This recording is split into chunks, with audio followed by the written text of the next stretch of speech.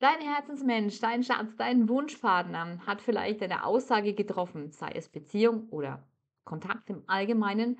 Ja, nö, Beziehung will ich nicht mehr. Nein, wenn Schluss, dann Schluss und ähm, es ist endgültig vorbei. Oder auch wenn es um den Kontakt geht, dass er sagt, nee, will keinen Kontakt mehr, nein, kein persönliches Treffen. Und diese Aussage, mit dieser Aussage stehst du da. Das ist das, was du bekommen hast und dann keine Reaktion mehr. Und da stellt sich dir die Frage, ja, stimmt es überhaupt? Ist es wirklich so? Was ich jetzt hier eine Aussage bekommen habe? Und, oder steckt da irgendwas anderes dahinter? Und da schauen wir jetzt mal nach. Wir greifen die Energie vom Jetzt, die präsenteste Energie, die sich zeigen möchte. Und ihr Lieben, wir sind im Kollektiv. Personenkarten sind geschlechterneutral und eine Kollektivlegung kann nicht für jeden zutreffen und auch nicht zu 100 Prozent. Also ihr pickt euch immer das raus, was für euch stimmig ist. Ihr wandelt es um, gerade wenn es um Personenkarten oder um verschiedene Situationen geht. Ne? Das ist dein Gegenüber männlich wie auch weiblich und wir schauen jetzt mal nach.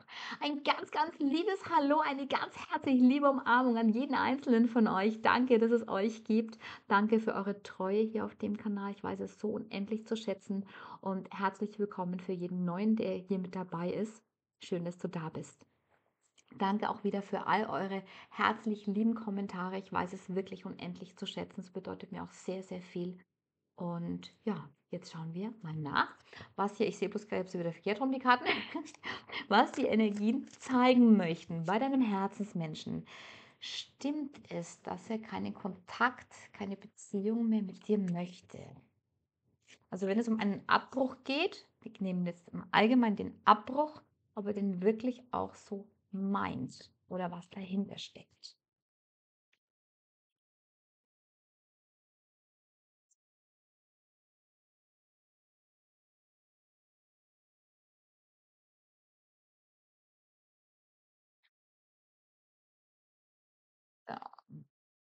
Wir schauen, was sich hier zeigt. Und gucken. Also, wir haben Ass der Münzen. Und bei dem Ass der Münzen zeigt sich schon mal als allererstes diese Planlosigkeit. Da ist eine Unsicherheit zu sehen und sehr stark das Materielle dass es da auch dieses Pragmatische auch zeigt von deinem Herzensmenschen und wie gesagt Unsicherheit. Aber da ist da trotz alledem immer noch was zu sehen mit dieser, mit dieser Chance, ne? dieses Warten auf eine Chance, da irgendwas ist mit ihm selber hat es auf jeden Fall zu tun, äh, mit seinem Sein für sich selbst, aber auch was hier Beziehung betrifft. Und da, weil es zeigt auch, diese Karte zeigt ja auch den Beginn von etwas. Und dann kam jetzt der Abbruch. Und da schauen wir jetzt mal genau nach. Ihr wisst ja, wir bekommen hier die Klarheit auf jeden Fall noch. Mal schauen, was jetzt hier noch gezeigt wird. Okay, jetzt haben wir nochmal die Münzen. Wir haben die zwei der Münzen. Und zwei der Münzen mh, hm, ist da, hier fehlt es auch so ein bisschen äh, an der, der ja, äh, diese, diese Balance, diese Ausgeglichenheit. Weil ich habe dein, dein Herzensmenschen nämlich hier auch sehr stark liegen mit diesem Desorganisierten. Und diese Starre auch, diese innere Unruhe und dieses Starr dann auch bleiben, dass da hier keine Bewegung großartig weiter reinkommt. Wir sind jetzt wieder in dem Bereich drin, was eine Beziehung betrifft. Ne? Und da diese, diese Starre und diese Unruhe, da ist diese Unausgeglichenheit. Hm, aber vielleicht ist er auch, ähm, was heißt aber, das streichen wir jetzt mal kurz, vielleicht ist er auch so ein bisschen in dieser lockeren Art gerade unterwegs. Ne? Ähm, ja, aber diese Lässigkeit, die auch mit gezeigt wird. Und das hat auch einen Grund. Also da dieses Auf und Ab. Und ähm, wieder dieses Anpassen, dieses Auf und Ab, dieses mal ja, mal nein und dieses Hin und Her, diese innere Unruhe, diese Unausgeglichenheit, äh, da, da steckt es da auf jeden Fall was dahinter, was ihn da beschäftigt. Das hat mit ihm selbst zu tun. Also Beziehung und diese Unausgeglichenheit, dieses Hin und Her. Ich sage mal, wie, wie ähm, ja, einmal links, einmal rechts, einmal links, einmal rechts. Und diese Unsicherheit hast du vielleicht auch bei deinem Herzensmenschen gespürt. Aber trotz alledem, was sich hier auch noch zeigt, was dann seinem Inneren noch mit drin steckt, ähm, ist so dieses, ähm, diese Neugierde auch. Weil irgendwas ist noch, da schlummert was bei ihm, was die Neugierde betrifft. Neugierde, ein bisschen jetzt hier in Energie in deine Richtung. So, wenn wir jetzt den Narren noch haben, haben wir wieder Neugierde hier liegen. Hm, das ist vielleicht so 'n bisschen kindlich, ähm, oder kindisch, ne? Äh, und dieses Unbefangene, was er auch immer wieder auch mit gezeigt hat. Immer wieder dieses Hin und Her, ne, was wir jetzt hier noch mal sehen. Und, hm, bei ihm ist es so, ach, der weiß nicht wirklich, was er was er machen soll. Dieses aber es geht ja auch um einen Beginn, einen Neubeginn, weil irgendwas ist hier in der Veränderung, was er nicht greifen konnte, was er vielleicht noch nicht gekannt hat. Und das ist 'n großes Thema. Also, wir schauen mal, was sich hier noch weiter zeigt, was denn da wirklich los ist, weil irgendwas stimmt hier nicht. Und bis jetzt, äh, ja, ist mir das alles noch so so schwankend, dass er davon fest überzeugt ist. Aber ich möchte mich jetzt noch nicht so weit aus'm Fenster rauslehnen. Wir wissen ja nicht, was jetzt hier noch gezeigt wird, ne?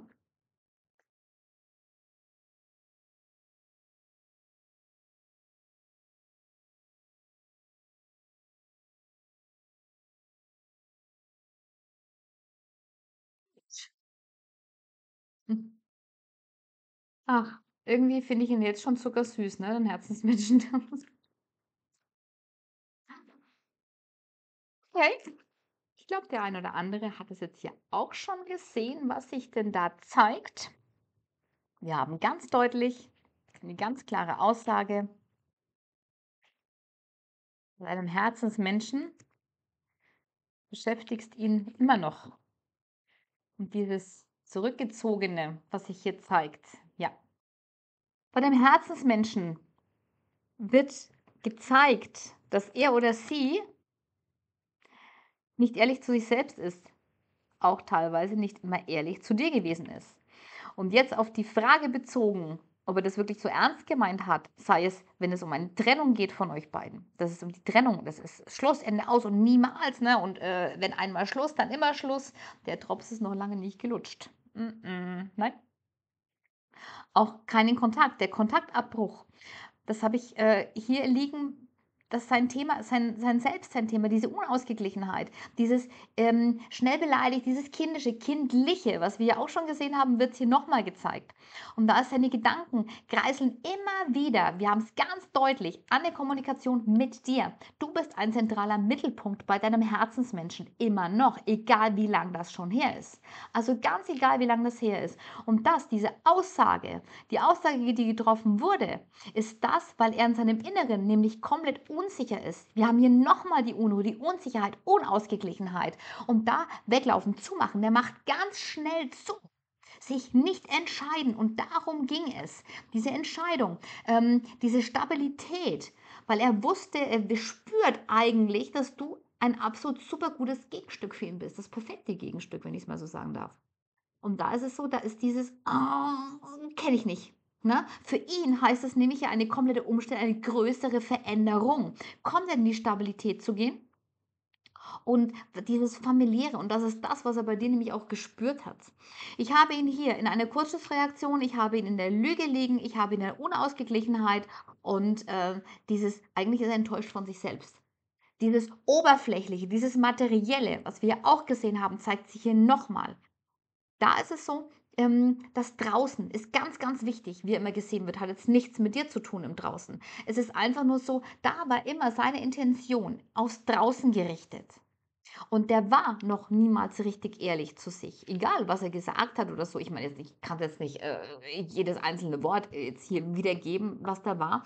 Aber was Gefühle, Emotionen betrifft, die Gefühle zu sich selbst, da habe ich immer die oder was Beziehung betrifft, habe ich das immer so, dass er noch nie komplett angekommen ist in einer Beziehung. So, dann kommst du. Da habe ich die Begegnung mit dir. Da habe ich die Herzberührung. Da habe ich das hat sich vertieft und es ging auf einmal Knall auf Fall, dass das mehr geworden ist und auf einmal wie so 'ne Lawine kam bei ihm. Wow, das ist wirklich, äh da, ähm, ist nichts mehr so wie in der Vergangenheit. Wir haben hier 'ne komplette Veränderung. Das ist die diese dieser wie so 'n kurzer, äh dieses, äh plötzlich hat ihn das eingeholt, dass er gemerkt hat: „Wow, hier verändert sich einiges.“ Da ist dass er diese Stabilität, dieses Ankommen auch spürt und ist weggerannt. Weggerannt vor dem Ankommen, vor der Stabilität. Bei dem einen oder anderen, ähm, wenn ihr schon mal in 'ner Beziehung gewesen seid ist auch das, wie gesagt, ähm, wow, es ist super, super klasse, aber er hat mit der Zeit auch gemerkt: „Ja, Moment, das ist ja ganz anders, als vorher immer gewesen ist.“ ich bin hier komplett in der Veränderung drin. Und da hat er Reis ausgenommen, weil er es nicht kennt. Das, was sich bei ihm getan hat, diese Familie, ist familiäre, diese Stabilität, diese Sicherheit, dieses Ankommen, dass es hier fest ist. Also wie so das Siegel drauf, ne? Es wird jetzt besiegelt, es ist wirklich sicher. Und da ist diese Unsicherheit, wird gezeigt, weil das eine größere Veränderung ist. Und da ist so, oh Gott, lieber ganz schnell Turnschuhe anziehen und Reis ausnehmen. Dann, wenn ihr in der Kennenlernphase seid und er dir gesagt hat, okay, pass auch jetzt hier mal kein Kontakt, ne? Also wenn ihr noch nicht in der Beziehung gewesen seid, habe ich das auch liegen, dass er gespürt hat, die Herzberührung war viel mehr. Und da hätte ich gedacht, ja, der ist so ganz, ganz, ganz lustig hier und ganz locker, ganz entspannt und ähm, hat dann gemerkt von dir, ähm, du möchtest mehr, du willst ja eine Entscheidung. Und bei ihm war es wieder diese dieses, ähm, ja, Kurzschlussreaktion, diese Schnappatmung, die ich sehe. Also da hättest du eigentlich ein Sauerstoffzelt und eine äh, Beatmungsflasche auspacken können. Und dann so, oh Gott, die Entscheidung, dieses komplett gleich was Festes, da komme ich ja nie wieder raus. So in, kurz, diesem kurzen Moment sich wie in die Enge, Enge gedrängt fühlen. So habe ich den Herzensmenschen liegen. Und das ist das, warum er Reis ausgenommen hat. Und wenn er sagt, keine Beziehung mehr, kein Kontakt mehr, nein, es ist aus, komplett beendet, dann habe ich das komplett nämlich in der Lüge liegen. Weil ich habe in der Lüge, habe ich seine Entscheidung, weil im Grunde geht es ihm auch gar nicht so gut, weil du beschäftigst ihn immer noch ob du jetzt, äh, ob da noch Kontakt ist oder kein Kontakt ist. Also wenn ich, wir sind ja bei keinem Kontakt, ne? Äh, auch kein Kontakt ist, wo du sagst, okay, der hat mich jetzt hier endgültig vergessen. Nein, hat er definitiv nicht. Denn ich habe eindeutig liegen in seinen Gedanken, ist die Kommunikation mit dir. Und da ist immer noch die Herzberührung zu sehen. Die Herzberührung, das hat noch nicht aufgehört. Er ist einfach so, dass er immer komplett sich zurückzieht, verkrampft, verschließt und sich noch nie richtig geöffnet hat, weil er immer wieder in diesem Instabilen auch drin ist. Und wenn er sagt, die Beziehung ist beendet, wenn Schluss, dann Schluss. Wie ich es vorhin gesagt habe, der Drops ist noch nicht gelutscht. Weil bei ihm, das ist zwar so, das hat er gesagt, aber in diesem Moment, das war eine Momentsaufnahme gewesen. So, und jetzt sind wir bei dem Punkt, oh, Kontakt, super. Was mache ich denn jetzt? Na? Wie kriege ich das Ganze jetzt am besten wieder hin? Dann ist es vielleicht auch so, vielleicht hast du noch ein paar Mal geschrieben, hast dich noch ein paar Mal gemeldet und wolltest ein Gespräch, eine Aussprache sowas haben. Lass uns noch mal drüber reden. Da verkrampft er mir wieder, weil so, oh mein Gott, der weiß nicht, wie er richtig argumentieren soll. Und hält an dem fest, was er gesagt hat. Wohl fühlt er sich aber nicht, denn das Herz sagt immer wieder, haha, guck mal, da bin ich, tada, ne? Du entkommst mir nicht. So habe ich das immer wieder liegen, weil in den Gedanken hat das, also eindeutiger geht es nicht. Die Gedanken in deine Richtung, die Gedanken, diese, diese Nähe, diese, ähm, dieses Wohlfühlen, der Wohlfühlfaktor, das ist das, was ihm fehlt. Und das sind auch diese Glücksgefühle.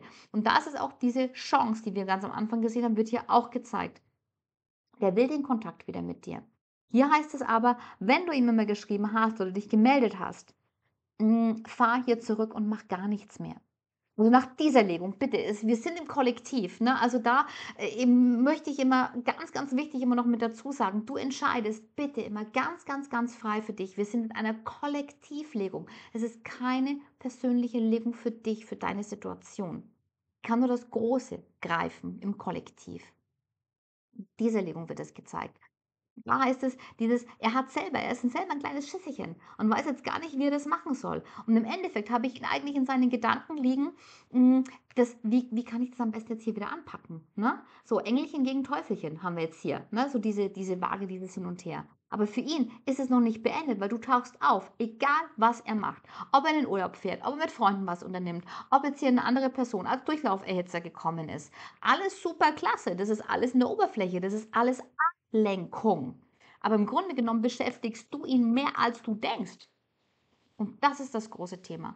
Also jetzt zu der Frage, ob das endgültig für ihn ist, ob er das ehrlich gemeint hat. Kein Kontakt mehr, keine Beziehung mehr. So, entweder oder, ne? oder beides zusammen, je nachdem. Das habe ich komplett in der Lüge liegen. Da hat er sich selber was vorgemacht. Und da ist schon diese Gedanken, wie könnte ich denn jetzt irgendwie, er denkt schon drüber nach, er denkt an den Kontakt mit dir.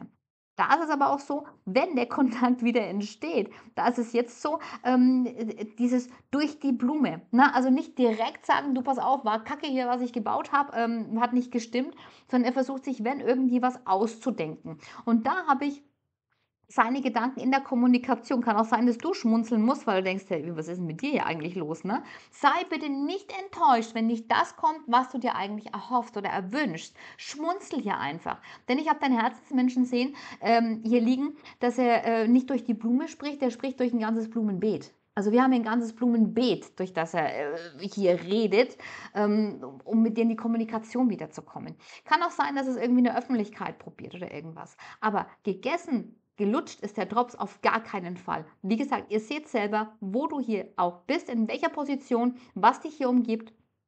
Und er spürt selbst, die Entscheidung, die er getan hat, die war falsch. Weil das sind Verhaltensmuster, die er immer wieder aus Altem gebracht hat. Und ähm, er kann nicht mehr konform damit gehen. Mit den Verhaltensmustern immer, die er kennt, was er immer wieder ähm, ja, ans Tageslicht gebracht hat, das ist das, wo er nicht mehr damit, was nicht mehr stimmig für ihn ist. Und das spürt er. Und das ist seine eigene Transformation, sein eigener Prozess, in dem er ist. So, dann schauen wir doch mal, was wir denn hier. Oh, jetzt haben wir nochmal die große Arkana, noch zweimal die große Arkana. Wow. Also, finde ich jetzt schon mal richtig klasse, was hier gezeigt wird. Und ja, da geht es mal locker flockig hier weiter. Denn bei dem Herzensmenschen, wie gesagt, du beschäftigst ihn mehr, als du dir vorstellen kannst. Und wir haben die Mäßigkeit. Und bei der Mäßigkeit zeigt sich der Ausgleich. Es geht in die Harmonie. Er kommt in die Harmonie mit sich selbst, weil das dieses Ungleichgewicht, haben wir hier gesehen, haben wir jetzt nochmal gesehen, dieses Ungleichgewicht, dieses erschöpft, der, der kann auch nicht mehr, der will auch das alles in der Vergangenheit nicht mehr. Er will diese Ausgeglichenheit. Und die innere Führung ist das, was er jetzt immer mehr annimmt, weil er weiß, wir sind da Beziehung haben wir hier gehabt und wir haben jetzt nochmal Beziehung. Er weiß, dass es mit dir eine gute, eine gesunde Beziehung ist. Das ist nicht, nicht, nicht krank, also nicht, dass da irgendwas nicht passt, nicht oberflächlich und so weiter. Er weiß es. Und da ist auch die Verbindung, die Beziehung, irgendwas hat er dir immer wieder auch so ein Stück weit vorgemacht, war nicht offen gewesen, nicht aufrichtig, aufgeschlossen. Ne? Nur bis zu einem gewissen Grad vielleicht. Und das ist das, weil er spürt in seinem Inneren, die innere, sein Herz führt ihn und zeigt ihm den Weg. Und da ist auch, wird auch das gezeigt und das hat wirklich mit der Beziehung zu tun. Und das ist das, wie so Kurzschluss, Torschlusspanik, oh mein Gott, weglaufen, weil irgendwie es fühlt sich hier zu gut an, zu richtig an. So, dann haben wir nochmal große Arkana und wir haben Judgment. Gerechtigkeit, wunderschön, denn dein Herzensmensch, ähm, das war so, der war ungerecht auch dir gegenüber. Und ja, die ein oder andere Lüge, die wir vorhin gehabt haben, die wird ja auch nochmal gezeigt. Aber er möchte auch dir diese, diese, dieses Gleiche wiedergeben, diese Gleichberechtigung. Und der ist dabei beim Abwägen von Entscheidungen. Er wägt da gerade ab, denn er schaut jetzt hier immer mehr der Wahrheit ins Auge und hier ist auch das Thema, die Verantwortung, eine Beziehung, Verantwortung übernehmen. Haben wir hier, hier haben wir es nochmal, so da die Verbindung, drunter die Karte. Und da ist er auf dem Weg, in diesen Bereich reinzugehen. Und Verantwortung, so dieses richtig stabile Feste, hat er auch noch nie richtig so komplett angenommen und ist in diese Veränderung reingegangen. Und in diesem Prozess ist er nämlich komplett drin, dein Herzensmensch. Und da, ähm, wie gesagt, wir haben einen Prozess und er hat sich selber was vorgemacht, er hat sich selber angelogen. Aber er geht in die Verantwortung, er will das auch, weil die Wahrheit ist wirklich, und das ist das Herz. Das Herz sagt die Wahrheit und du bist in seinem Herzen. Und die Wahrheit, der schaut da jetzt ins Auge und da ist, da ist diese Transformation, die wie gesagt gezeigt wird. Ob du im Endeffekt hier noch möchtest, bleibt ganz frei dir überlassen. Du bist immer der Kapitän von deinem Schiff des Lebens und du achtest immer auf dich, was oder wer dir gut tut. Ob du die Veränderung von deinem Herzensmensch, wenn er wieder auf dich zukommt, annimmt, äh, annimmst, bleibt ganz frei dir überlassen. Und ich wünsche dir, euch von ganzem Herzen das aller, allerbeste und alles Liebe. Tschüss!